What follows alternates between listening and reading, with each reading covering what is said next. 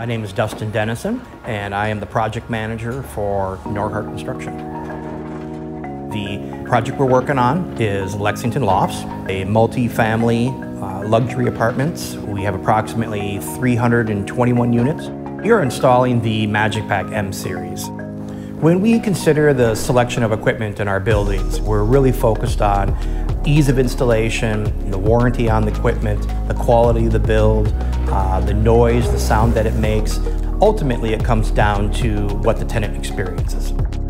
Of all the other products or systems out there, overall their reliability and what they provide for the tenants is second to none. My name is Jake Sweet and I'm the HVAC foreman here at Norhart. The MagicPak M series can provide some of the best comfort and value to the end user.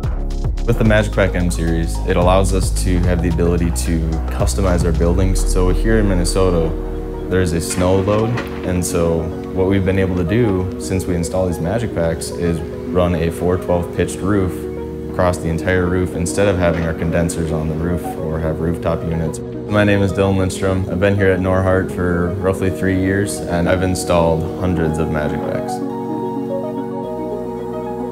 The MagicPak M series is very convenient for us because it provides a quick installation, allows our team to get in, do minimal prep work. We don't have to work in multiple parts of the building. We're not having to run extended refrigerant lines. The M series provides everything in front of us within a closet in a compact space and having all of the connections up front in front of that equipment allows us to create a tighter closet around that MagicPak equipment as we all know with tenant spaces and multifamily, every square foot counts.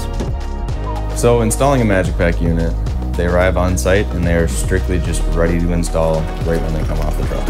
You connect the MagicPak to the sleeve, you connect the ductwork to the top, and you connect gas, power, condensate, and then it's ready to go. They don't have to solder, they don't have to braze, they don't have to pressure test. None of that is included. Installing a MagicPak only takes just under two hours to do. Get it up on the stands, make the field connections required.